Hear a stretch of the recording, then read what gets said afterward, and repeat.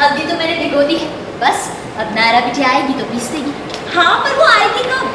नायरा को अब तक आ जाना चाहिए था। हम लोग बहुत लेट हो जाएँगे। आती होगी लल्ला वहाँ भी उसे सौ काम होंगे। बेचारी यहाँ वहाँ भाग रही होगी। पर उसने कहा है तो ज़रूर आएगी। हाँ वाकई में गोवे हैं जी। हाँ। की फ़ोटो पापा को देखा। लता जी, थोड़ा पीछे लता जी। एंड लता जी आगे जाएँगे अभी। जा जा तो पापा के पास। लता जी आगे बढ़ी। बेटी के पास आप लोग भी थोड़ा आगे बढ़े। पैसा तो देखिए पापा को देखा। पापा ने तरफ़ बढ़ा आपके आपके आगे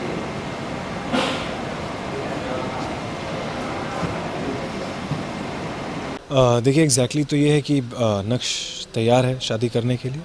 अब ये शादी में पापा हैं ममा हैं लेकिन अ, किसी और रूप में लेकिन है उनका एहसास तो नक्श को हमेशा जैसे कि है वो रहा है और हमेशा ही रहेगा।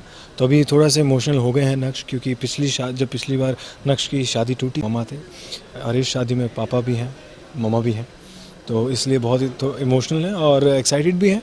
और थोड़े से सबसे ज़्यादा नर्वस हैं क्योंकि आइडिया नहीं है कि क्या होगा कैसे होगा और ये शादी कैसे कर पाएँगे क्योंकि जैसे कि सब कुछ सब जानते हैं कि कीर्ति जी से अभी इतना प्यार नहीं करते हैं नक्श बट फिर भी जो भी होगा he is just going with the flow देखिए जहाँ तक रोमांस की बात की जाए तो ये फैमिली बहुत पुश कर रही है।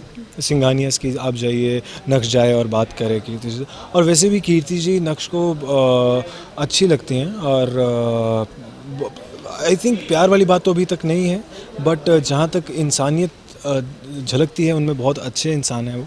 और ठीक है आई मीन अभी लेट्स सी क्या होता है, क्योंकि नक्श क्या करने वाला है इवन आई डोंट नो